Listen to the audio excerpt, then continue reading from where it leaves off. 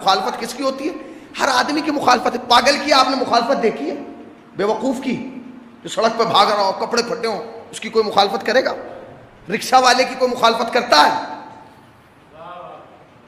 मैं एक जुमला, एक दिन मैं फेसबुक देख रहा था, उस पर एक जुमला आया।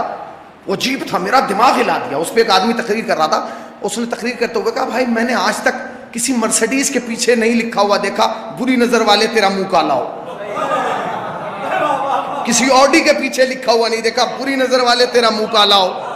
हमेशा या रिक्शा के पीछे देखा या टेंपू के पीछे देखा। हद हो गई, मारुति वाला भी नहीं लिखता। इसका मतलब यह है कि सोच उसकी छोटी होती है जो खुद छोटा होता है। जब सोच बढ़ती चली जाती है तो इंसान का विकार बढ़ता चला जाता है। मुखालफत किसकी होती है फला साहब की मुखालफत हो रही है, इसका मतलब इंसान ही वो है। तुम्हारे दरमियान काम ही का वो है, इसीलिए उसकी मुखालफत हो रही है, मैं दलील दूँगा।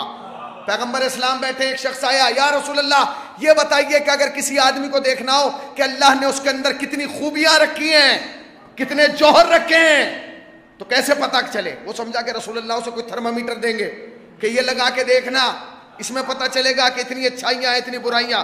क्या जवाब दिया? मस्जिद भरी हुई है।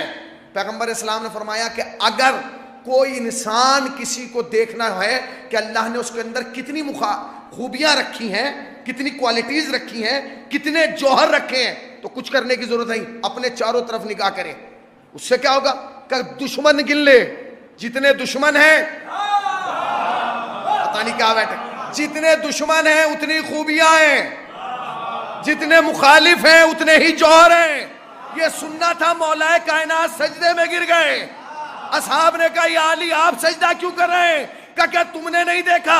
जिसके अंदर जितने जोहर हैं, उतने ही दुश्मन हैं। मैं क्या करूँ? अली जिधर निकाह करता है, दुश्मन नज़र आ रहा है।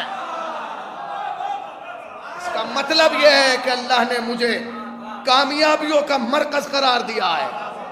महवर बनाया है।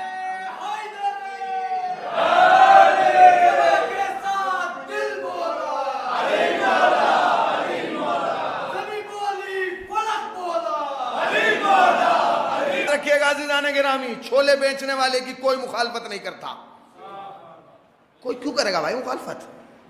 वो तो सही है, अपना काम कर रहा। हाँ आप अभी मॉल बना के बैठ जाइए। कोई ये नहीं देखेगा आपने ज़िंदगी भर कितनी मेहनत की है।